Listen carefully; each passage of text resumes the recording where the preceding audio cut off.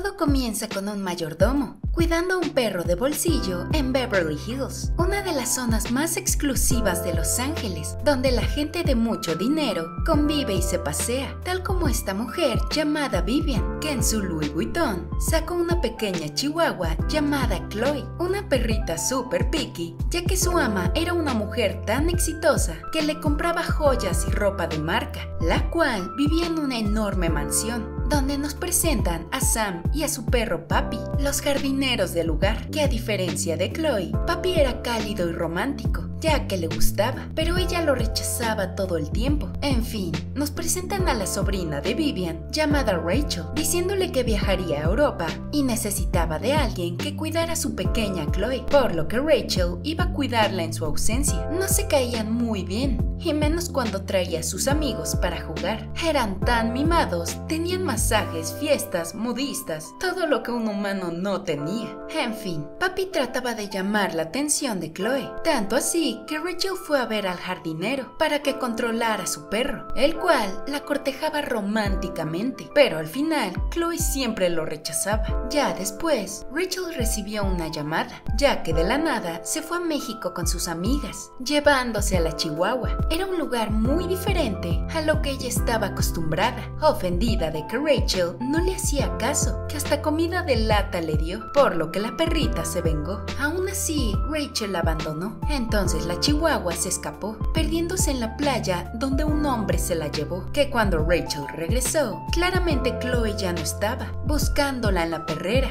donde le dijeron que se la llevaron los de las peleas a la Ciudad de México, preocupándola aún más, ya que aquella ciudad era un enorme lugar donde la tenían enjaulada, apanicada de donde se encontraba, conociendo a Delgado, Rafa y a otros perros que trataron de calmarla, pero terminó presumiendo lo que tenía cuando una amiga de Rachel fue a la casa de Beverly Hills, donde le contó al jardinero que la perrita se perdió en México apanicando a papi, sin saber que en realidad la perrita se enfrentaría contra un Doberman en las peleas, contra el diablo, poniendo nervioso a Delgado, así que escapó de su jaula, liberando a los demás, para rescatar a la chihuahua y así salir del lugar, por lo que los hombres los persiguieron, así que el pastor la cargó y escapó. El caso es que el jefe quería a Chloe por su collar de diamantes, la cual Delgado quería dejar, pero ella no sabía vivir sola y no quería que la dejara ofreciéndole que la llevara a su casa y así podría vivir con ella. Por otro lado, el jefe le puso un GPS al diablo, que salió en busca de Chloe,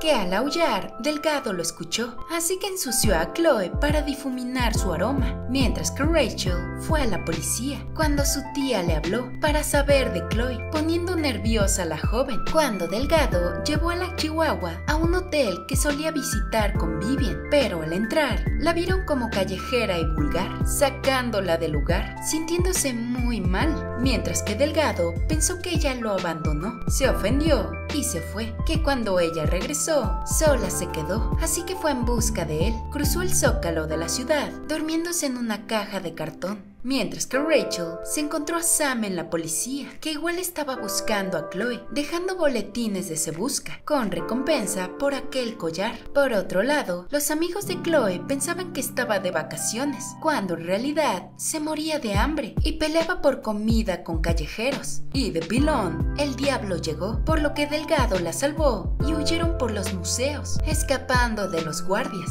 directo a un camión que los llevaría a Puerto Vallarta, que cuando el camión partió, Papi y Rachel llegaron, ya que seguían sus rastros, por lo que el jefe del diablo se enteró de inmediato y sabía que era de la millonaria Big. En fin, Chloe y Delgado llegaron a Puerto Vallarta, donde el pastor dejó a Chloe nadando en una fuente, cuando de la nada, una rata y una iguana llamaron su atención, ya que estaban interesados en su collar, diciéndole que trabajaban en un crucero, endulzándole el oído, mientras Delgado fue a una escuela canina con su primo Tomás, contándole todo el asunto de Chloe y que el diablo la buscaba, por lo que los iba a ayudar. Por desgracia, Chloe le dio su collar a la rata, arruinando el plan del pastor, ya que lo necesitaban para localizar su hogar, enfureciendo al pastor alemán. Pero para su suerte, el diablo encontró a la rata y la espantó, pero el bobo le dijo dónde vio a la chihuahua, a la cual Delgado le contó que antes solía ser un perro policía, y así se subieron a un tren. Bueno, la subió, ya que la llevaría a la frontera, dejándola en manos de un coyote,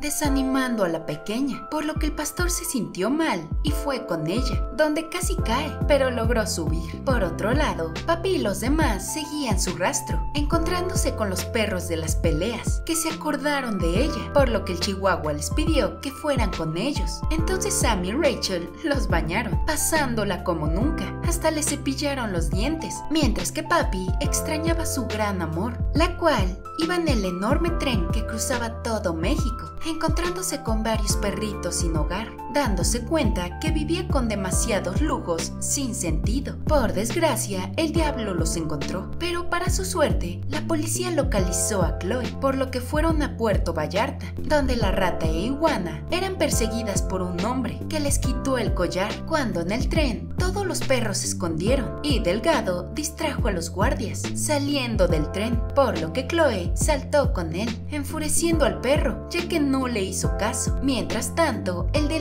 tienda le dio el collar a la policía, por lo que llegó a manos de Rachel, que con esto le dejó al vendedor uno de los perros, para que cuidara su tienda de todo roedor, mientras los demás rastrearon a Chloe en el tren, así que la rata y la iguana se fueron con ellos, siguiendo las vías, cuando en realidad Delgado y Chloe andaban en medio del desierto, dándose cuenta que el pastor alemán perdió el olfato, por eso lo echaron de la policía, que estaba en una misión tras el dueño del diablo, quien lo atacó, hiriendo a su dueño, que desde entonces todo cambió, cuando de la nada varios pumas lo rodearon y de pilón una tormenta apareció. En realidad eran un montón de chihuahuas que ahuyentaron a los felinos. El caso es que estaban en Chihuahua, el estado, y habían muchos de ellos, llevándolos a unas ruinas en las cuales vivían. Habían chihuahuas de todos los tipos, que en la noche le hicieron una bienvenida a Chloe, diciéndole que no era una perrita faldera, que no era un accesorio, un juguete, ni de bolso, que tal vez eran pequeños, pero poderosos. Por otro lado, Papi y los demás llegaron a otro estado, donde la iguana y la rata, Papi los encontró, contándole que el diablo la buscaba, y así era. Y de pilón, Chloe comenzó a extrañar a Papi,